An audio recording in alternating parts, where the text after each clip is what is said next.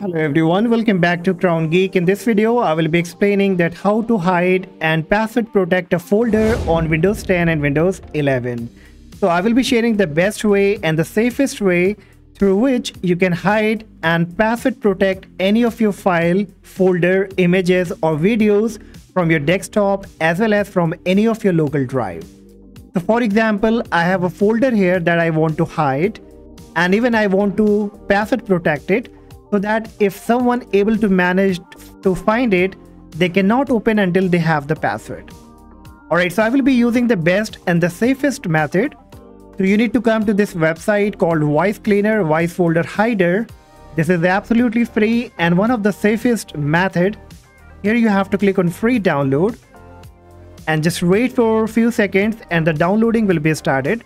It's only 4.3 MB of size, so it will be quickly downloaded. Once downloaded, you need to click on the downloaded file. The wizard will be up. Check the agreement box, then click on next, next again, and then click on install, and then click on finish. And then it will come up with a box that says enter password. So just have to create any password that you can remember it. So let me quickly type a password. And then I need to re-enter the password here and then I have to click on OK. And this kind of box will be coming up.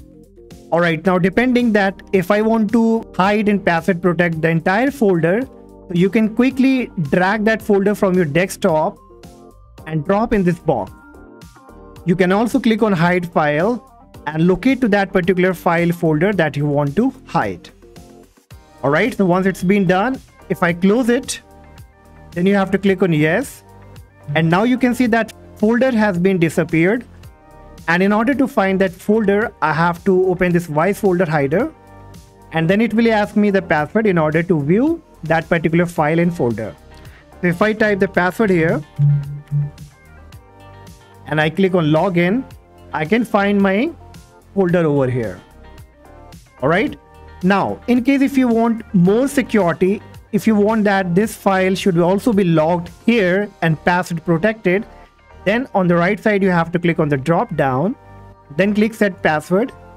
Again, enter any kind of password that you want. Then confirm the password. And then click on OK. And now what will happen even if I close it and if I open the Wise folder hider and enter the password and I click on login even if someone have the password of this Wise folder, they also need to enter the password here to open this folder or file. So if I double click on it, again it will ask me the password. So this is for the enhanced protection. If you need more protection, then you can create the password twice. Similarly, if you want to hide and password protect any other file, images and videos, then you have to drag that file and folder in this box. So this is the best, safe and the easiest way to lock, hide and password protect any kind of folder on your Windows 10 and Windows 11. Hopefully you will love this video guys and find useful and if yes, do not forget to like and subscribe. For any question, let me know in the comment section. Till then, take care. Bye-bye.